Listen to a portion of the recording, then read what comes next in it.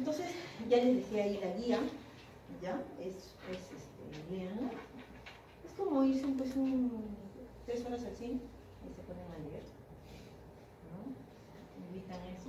Entonces vamos a seguir con el tema. Son, primero he puesto definiciones, ya que quiero que tengan en cuenta y que son definiciones que siempre tienen en duda cuando a veces uno pregunta y son, esto es pan de cada día, porque ustedes díganme, ¿quién no le dice tengo dolor en hipocondrio derecho o dolor este, en, en toda la, claro, en el hipocondrio derecho o en todo el, el cuadrante superior derecho, ¿no? ¿Quién no ha tenido ahí y no sabe si es colicistitis, si es este, coledocolitiasis, etc. Entonces, la colelitiasis es asintomática. ¿Por qué le dicen asintomática? Porque no tiene síntomas. no tiene síntomas. Y también podría ser sintomática, ¿no? Que eso lo vamos a ver después. Entonces, colitiasis asintomática es porque hay cálculos en la vesícula, ¿ya? Pero no tiene sintomatología. Ahora, este tipo de diagnóstico, o sea, no, el paciente, ¿cómo es que llegamos al diagnóstico? Es que justamente cuando va el paciente en forma indirecta, a veces dice, eh, queremos saber eh, por algún otro motivo, ¿no? Meteorismo, alguien, algún acceso, por alguna razón es que le dicen toman una ecografía. O el paciente, hay pacientes que dicen, no, yo me tomo cada año. Bueno, no sé. Entonces, en ese momento se le toma y incidentalmente se encuentran estos litos dentro de la vesícula. Pero nunca ha tenido, uno le pregunta, ¿has tenido molestias? ¿Has tenido dolor? Y el paciente te dice, no, nunca he tenido. Entonces ustedes dicen, ah, qué bueno. Entonces, por lo tanto, este tipo de síntomas. Con litos se refiere como cálculos pedidos. ¿Perdón? Con litos se refiere Litos es piedra. piedra, ¿no? piedra. ¿ok? Entonces eso está dentro de las vesículas o cálculos, ¿no? Generalmente le decimos lito porque este, son piedras para no Ujú. hablando Claro. técnicamente. Claro. Entonces, cólico biliar. Entonces, el cólico biliar, ¿no? el famoso cólico biliar, es un dolor abdominal generado por la contracción de la vesícula, que vamos a ver después dentro de la fisiopatología, y movilización de estos cálculos ¿ya? por el barro biliar, puede ser tanto el hito como un barro. ¿ok? Entonces, hacia el conducto cístico produciendo una obstrucción transitoria. Si dice transitoria significa que puede ser permanente y, y llegar a una colecistitis aguda o puede pasar y simplemente este, después solamente hubo el dolor y luego pasó, a- pasó tranquilamente y eh, para el paciente dice, ¿por qué tuve ese dolor? Se pone siempre en incómodo. ¿Por qué les comento bastante eso y les presiono bastante en eso? Porque esto es día a día de la emergencia. Esta es la parte clínica. La parte del diagnóstico la van a hacer bastante cuando este, ya comiencen a hacer la parte de emergencia, porque esto es lo que llega a la emergencia, siempre. Entonces, y generalmente es, el dolor es muy característico, dolor en el hipocondrio derecho o en el epigastrio, dependiendo. El dolor es bastante constante, puede ser de intensidad variable, según cómo esté este lito, si está estancado o es de tipo transitorio, y esto puede irradiarse hacia la región escapular, ¿ok? siempre a ese mismo lado. ¿ok? Ahora, puede tener náuseas, vómitos, diaforesis, etc. Hasta puede llegar a, a- si ya llega a ser fiebre, ya es una colecistitis aguda, ya cambia, ¿ok? Por ese lado. Entonces, hablando de colecistitis aguda, es una complicación, ya si tú tienes colelitiasis, tienes, o sea, y nunca has tenido, tienes una colelitiasis asintomática, pero tienes el riesgo ¿ya? de poder complicarte, tal vez no se sabe en qué momento, tiene factores, lo puede hacer, si no, puede ser que nunca tenga, pero generalmente estos pacientes siempre, a veces, cuando este, eh, pasan por el conducto cístico, por la misma, eh, la misma contracción de la vesícula, podrían alguna vez hacer sintomatología. Entonces, en estos pacientes sí se recomienda que sea su cirugía en forma electiva, este, ya en estudios y lentamente, pero no es una emergencia, no es una urgencia. Sea, sí te debes operar, pero porque tienes el riesgo que puedas hacer, ¿ok? Entonces, y esto es desencadenado por lo que les dije, ¿no? Este, por la obstrucción persistente. Entonces, acá va a haber un riesgo de una isquemia este, parietal de la pared, donde va a producir una inflamación asociada a la infección de la vitis. ¿ok? Entonces, y la colecistitis crónica, esto colecistitis aguda, en algunas bibliografías refiere que es dentro de una semana, que eso es lo que comenta. Y colecistitis crónica es propiamente, en otras bibliografías refiere solamente la inflamación crónica que ya tiene más de dos semanas o más, ¿no? Este, y que van a, causar este tipo de dolores. Hay personas que tienen, por ejemplo, nosotros en el servicio tenemos una interna que tiene sus, tiene sus litos, pero no se quiere operar y tiene hace tres años con eso, y siempre está con dolores, está con su vida, está que digo, opera, pero bueno, ya esa es elección de cada uno. Entonces, eso ya es una cosita crónica. Y tiene riesgos definitivamente después cuando ingresa a, a ¿no? Entonces, esos son los cuatro conceptos que ustedes tienen que este, interiorizar para poder este, definirlo bien y sepan exactamente a qué se debe. Ahora, la, cole, la es propiamente, es porque este lito ¿no? ha migrado vesícula biliar y se ha estancado prácticamente en el conducto del coledo. Ahora, hay que tener en cuenta que este tamaño de, esto tiene mucha importancia, es decir, si este lito es este, mayor de 6, eh, mayor de 2 centímetros, mayor, de 2 centímetros, generalmente esto está, o sea, no va a pasar pues, por ahí, no va a pasar. Entonces, por lo tanto, va, va a tener una, este, va a ser una obstrucción y vamos a tener después este, factores. Y ahí sí debe utilizar la sal.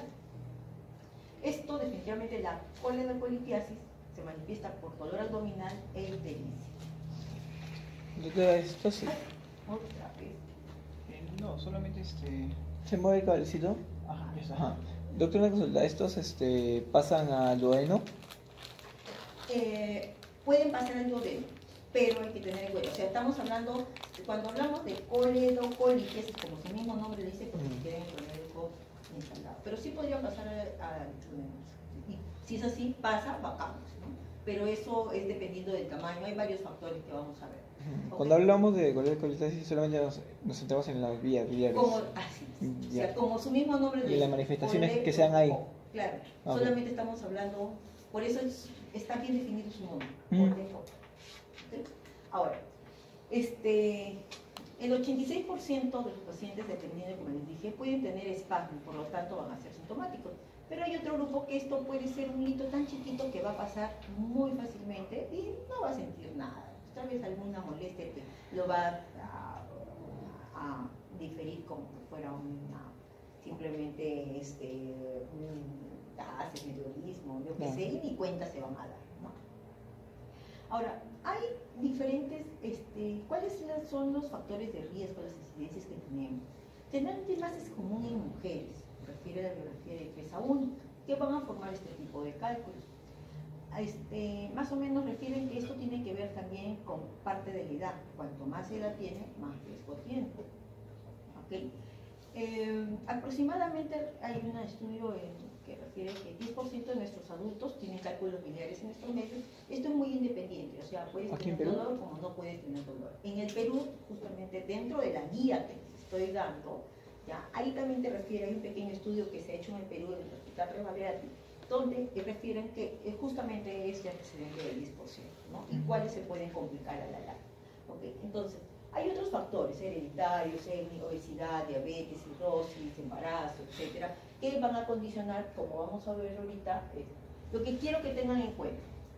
Entonces, 10%, o sea, ¿cuáles son los factores que van a favorecer la formación de cálculos? Es aumento de la excreción hepática de la bilirrubina libre deficiencia de factores solucionadores de la bilirrubina libre y desconjugación de la bilirrubina libre. Entonces, miren, todo esto van a formar, si hay una, si la vesícula está, o sea, generalmente tiene una motilidad, pero puede tener una hipomotilidad, por lo tanto disminuye parte de la contracción de la vesícula, disminuye también que pueda drenar esto, este, que pase por toda la vía hepática y por lo tanto vamos a tener una hipomotilidad.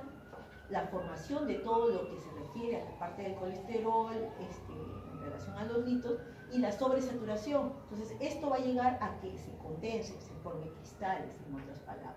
¿no? Este es cómo se va a formar y entonces ahí es donde este, vamos a tener factores ¿no? que, podemos tener el riesgo que se cristalicen y prácticamente este, poder formar los litos. ¿ya? Doctora, ¿de qué manera la bilirrubina en los factores que estaba en la diapositiva anterior favorece que se puedan producir los cálculos Es depende de la densidad de la bilirrubina. Ya. Estamos hablando. ¿Se Si la se conju- es juntando? muy, es, este, la bilirrubina es muy densa y Ujú. también es el proceso de descripción, definitivamente tienes el riesgo. Por eso, no solamente es un factor, son varios factores.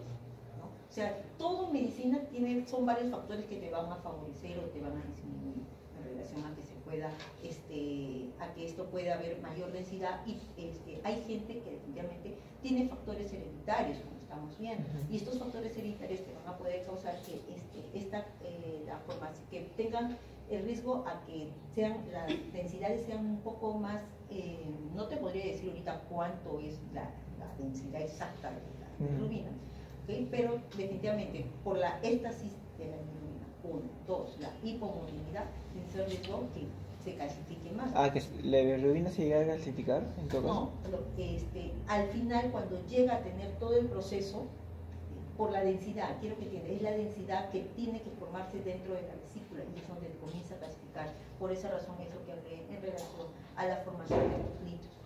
Mm. Entonces, dentro de la patogénesis, ¿qué factores son desencadenantes? Entonces, hay obstrucción de la bilis a través del conducto cístico por un lito, que esto generalmente es un 90%.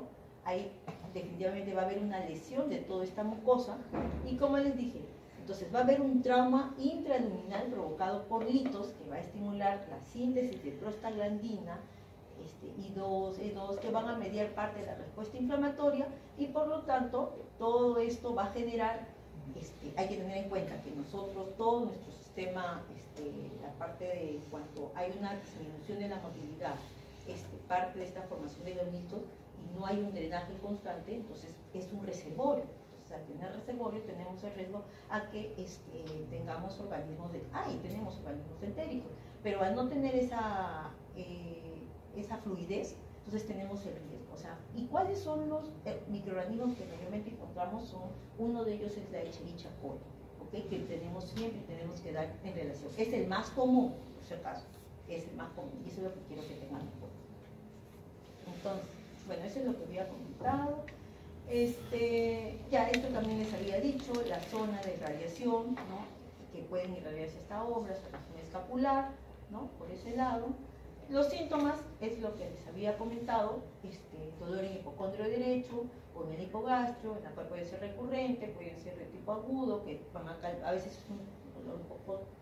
a veces la gente no lo sabe describir, dice me duele, pero como que pareciera que me, está calmando. ¿no?